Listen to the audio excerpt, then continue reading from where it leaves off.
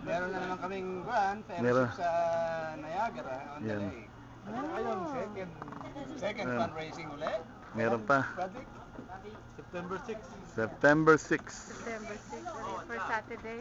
Uh, first Saturday ng ano, September. Tapos uh, this coming uh, second week of July, Mhm. Brad Distance Place, housewarming. Ano eh. Jason, Jason, is Jason. Oh, you're going to the Philippines?